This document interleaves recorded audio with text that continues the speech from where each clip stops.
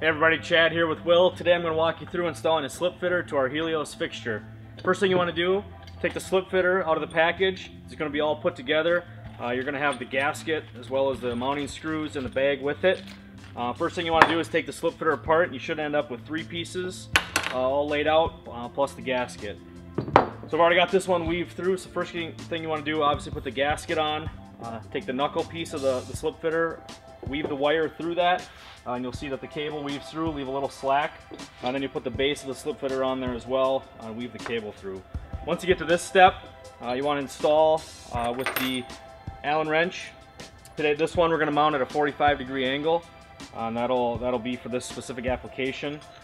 Uh, so gasket obviously goes on, line up the holes, get your drill ready with your Allen wrench that you need.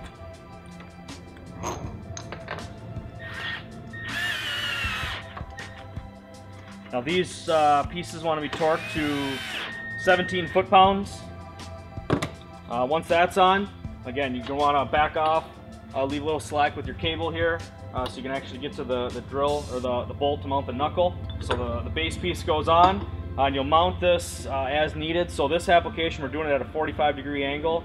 so we actually will line up the joint in this piece with the joint in this piece, and that's our 45. So once that's on there, just tighten down, get the bolt started, um, get your drill switched over.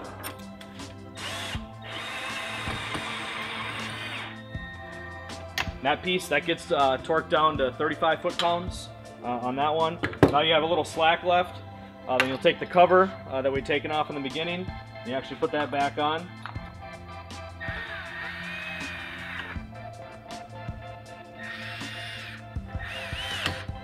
So that's back on. You'll actually see on that one uh, that the 45 degree angle lines up uh, with the mark on the on the base of the slip fitter. Uh, so everything's on there now. So this fixture actually will get mounted uh, at a 45 degree angle off the pole. So this the base will be horizontal with the ground. Uh, but for these purposes, obviously we have it mounted up here. Uh, but now you just take the weave your cable through the tenon mount, and then you'll take these screws, you'll or these bolts, and you'll torque those down to 17 foot-pounds on those as well.